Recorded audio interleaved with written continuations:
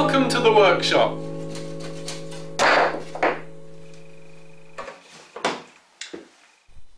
Today we're starting construction of a Japanese planing board. I've just cut off two lengths of studding timber, softwood studding timber, to use as the feet. Now I'm assuming if you're making this planing board that you quite possibly don't have a workbench of your own. So I'm going to be constructing this without the use of a workbench, showing you how you can do that yourself. The materials you'll need is a length of hardwood for a vice jaw, uh, a short length of smaller hardwood dimension for the saw stops, and an, another piece of hardwood to cut the planing stop from. You'll also need a long length of hardwood to use as a planing rail. and of course last but not least the planing board itself from hardwood. You will also need two short lengths of studding timber to use as the feet. All these parts can be bought dimension to size from your local timber merchant or sawmill. A SketchUp model is available from my Website womadeod.co.uk This is the main board of the planing board. This is going to be the top side and this is going to be the planing rail side.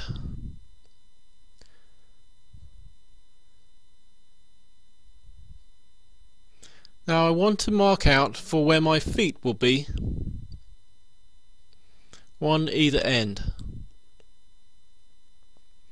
I want them to be approximately 4 inches in from each end. So I'll mark 4 inches from this end, 4 inches from that end, and then I'll mark just using the the feet the width of each foot from those 4 inch marks. Now I'm going to mark out for the dovetail that attaches the feet. I'm going to use this bevel gauge which I've set to the same angle as my dovetail bit. I'm going to cut this one by hand uh, just to show those of you who don't have a router that it's perfectly possible to make this without one. We want our dovetail to be in the center of our feet so we'll just make sure we, we mark it out in the middle between the two markings we made on each end of the foot.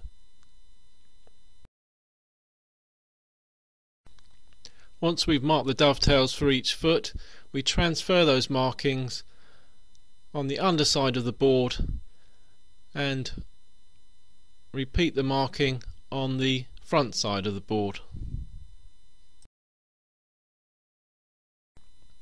Using a marking gauge I mark the depth of the dovetails at half an inch on all four points and once that's done we're ready to start sawing. We'll hog out most of the material using the saw staying just within inside our lines and then we'll clean up finally with some chisels. To finish off the sawing, rest your work on the floor on one of these cabinet lining material mats that's very sticky and stops it moving around and then if you clamp two pieces of wood on either side of your saw a half an inch from the tips of the teeth that will stop you going too deep and then you can quickly hog out the central section to the right depth. Now to finish the cleanup of the dovetail sides use your bevel gauge still set to the dovetail angle and some chisels. Line the chisel up with the angle on the bevel gauge and applying pressure just clean down the inside edge of your dovetail slot. And just repeat all the way along so you have a lovely neat slot. To clean out the very bottom of the dovetail slot just use a narrow bevel edge chisel working from both sides.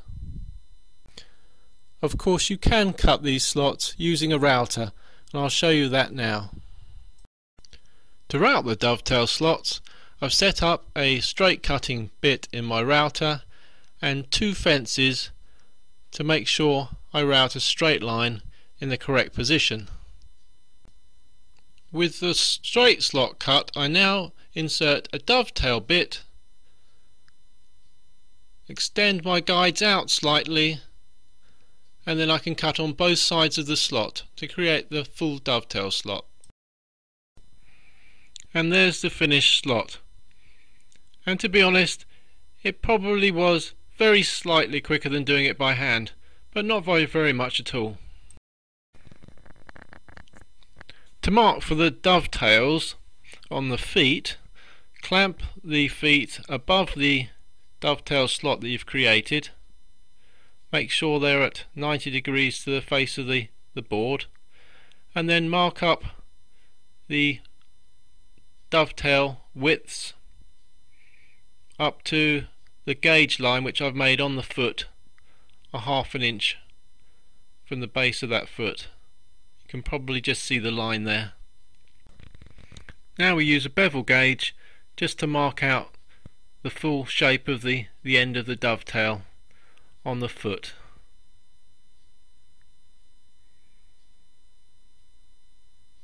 it should obviously look the same as the slot that we have just below it.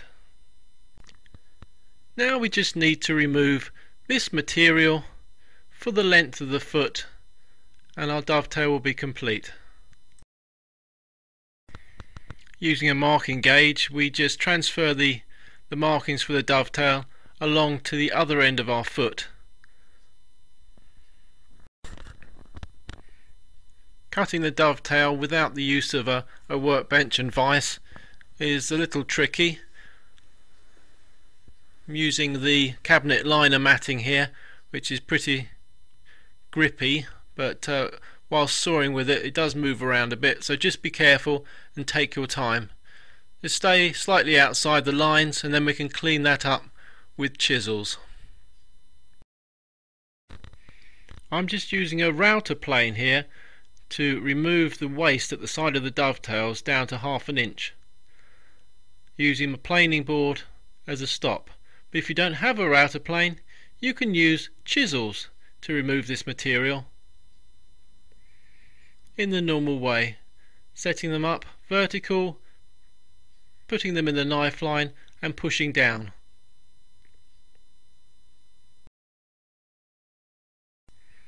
Once you've removed the square section of waste down to a half an inch, it's time to move on to the angle of the dovetail.